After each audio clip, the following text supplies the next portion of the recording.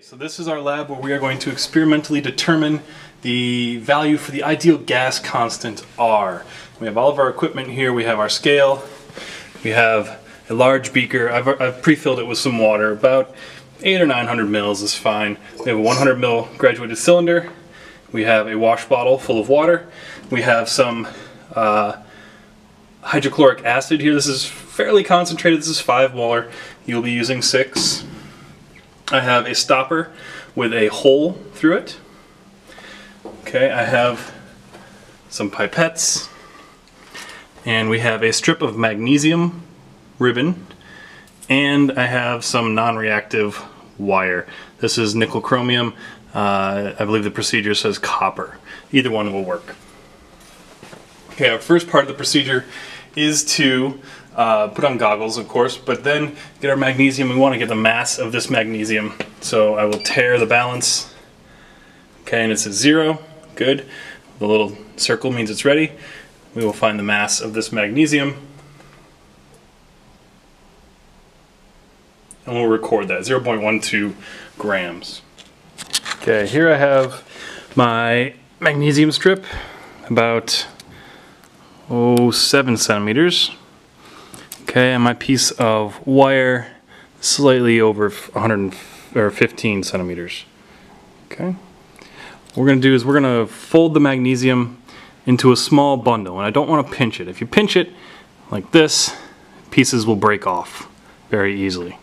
Okay, we don't want that to happen. We just want to kind of fold it without pinching so that we have a tight bundle. Okay, about a centimeter or so in length. Okay. now we're going to take our nickel or our wire, okay, and we're going to need to make a cage. So what we do is we put the magnesium right in the center and we bend the wire around it. Okay, it's a little tricky, so just keep keep working at it. If magnesium falls out, just put it back. Okay, you're gonna need to go a couple different directions. Okay, because we want to hold that magnesium in a good, secure bundle. You can see it's not easy.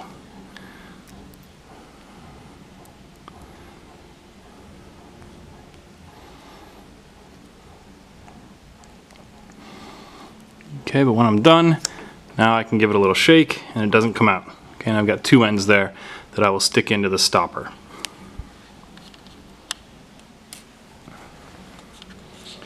We are about, oh, three centimeters long. Okay, next step is to get some of the hydrochloric acid. We are going to, we want 10 mils, okay, of the hydrochloric acid, and we're going to measure it in our graduated cylinder here. So I'm just going to pour in a little bit. You will obviously do this more carefully than I am, and that's a little too much. So I'll remove some of it.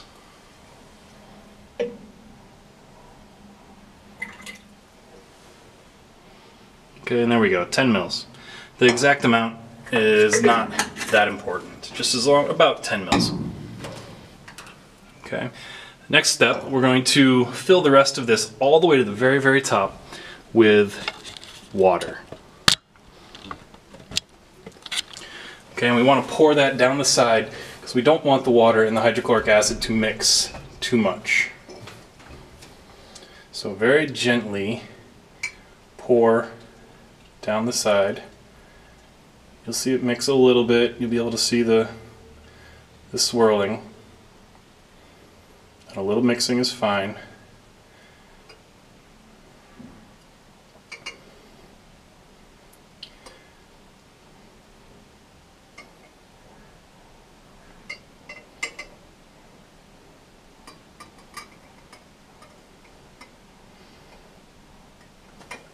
Okay. Just so I don't spill, I'm going to put it in this container here. I'm going to fill it all the way to the very, very top without spilling. There we go. Next, I'm going to place the other end of the wire cage into the hole of the stopper from the bottom. I want it about two centimeters or so above the uh, above the stopper. Okay, I want it sitting about there. Okay, um, if you, sorry I bent that the wrong way. If you bend this back in, okay, and it will, and then push, it should hold where you want it fairly nice. Okay, and then you can just bend that over. All right, the next steps must be done quickly, okay? We're gonna do this over the sink. I'm gonna do it over the tray. Uh, we're going to be putting the stopper into the graduated cylinder. Some of it's gonna overflow. It's okay because at this part, it's mostly water. Some very, very dilute acid, so it's not gonna, not dangerous. Most of the acid is still down at the bottom of the graduated cylinder. But once I get it in, it's gonna start reacting. I need to very, very quickly get it inverted and in the big beaker. Something like this.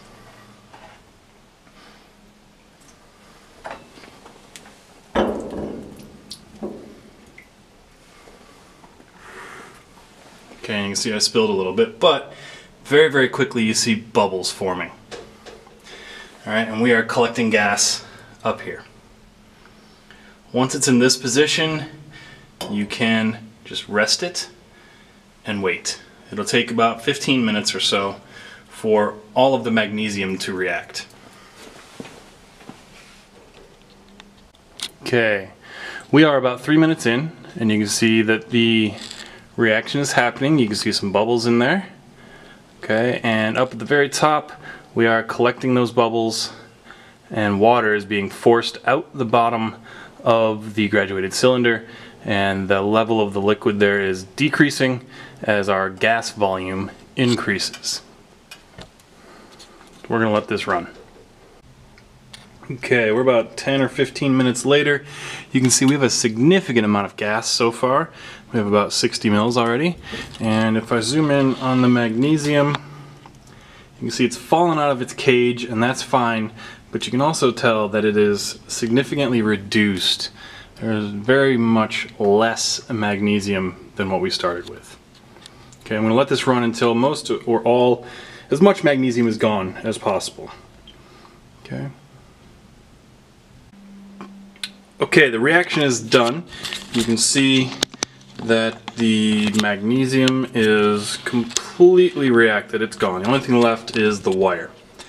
Okay, and if we look up right there, is the line between our gas up here, the hydrogen gas that was created, and the solution underneath, okay, of the hydrochloric acid and water. So we need to get an accurate measurement of the volume of gas in there. To do that, we need to equalize the pressure because as you know, pressure uh, affects the volume of a gas, Boyle's law. So in order to equalize the volume, it's actually really easy. All we have to do is raise or lower the graduated cylinder and we want to put this line here where the gas meets the liquid in the graduated cylinder at the same level as this line here where the liquid in the beaker sits okay so we raise or lower and we can read our measurement right there okay and in this graduated cylinder Remember you're reading upside down. We have 85.5 milliliters of hydrogen gas.